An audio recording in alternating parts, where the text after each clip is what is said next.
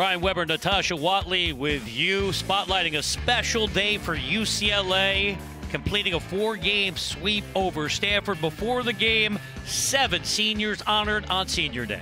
Such a great day to send off these seniors, such a great senior class, and just being able to celebrate them and then be with their families. And none other than Rachel Garcia just leading the charge and leading this team in the circle as a senior.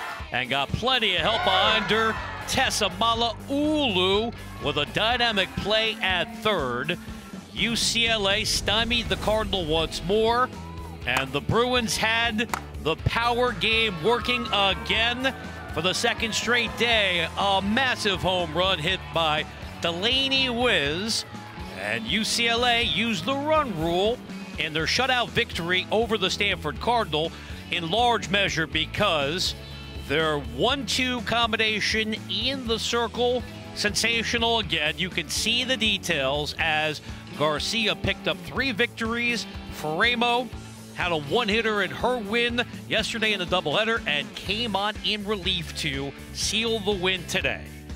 So, UCLA with another comprehensive series. They've won 12 straight, and now the countdown, the first pitch is underway.